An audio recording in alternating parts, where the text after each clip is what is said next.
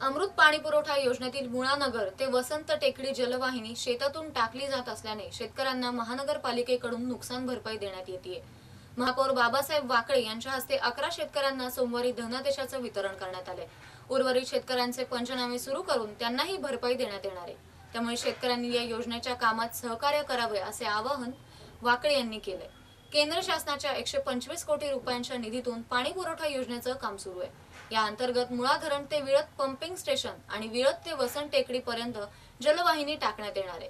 अनेक ठिकाणी शेतकऱ्यांच्या शेतातून ही पाईपलाईन टाकावी लागत असल्याने त्यांना नुकसान भरपाई दिली जाते गेल्या अनेक महिन्यांपासून नुकसान भरपाईचा प्रश्न प्रलंबित होता. मात्र महापौर वाकळे यांच्या हस्ते अकरा शेतकऱ्यांना नुकसान भरपाईच्या धनादेशाचं वितरण करण्यात आलंय.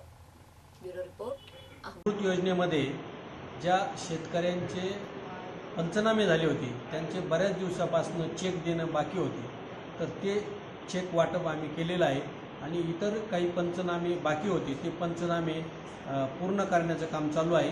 त्यांचेही पैसे लवकरात लवकर देऊन आपल्या अमृत योजनेचं काम नगर शहराला पाणी मिळण्याचं काम लवकरात लवकर पूर्ण होणार आहे. आणि ह्या अमृत योजनेमुळे नगर शहरामध्ये पुढचे पंचवीस वर्ष सर्वांना पूर्ण क्षमतेने पाणी मिळेल अशी पाणी देण्याचं काम आम्ही करणार आहोत.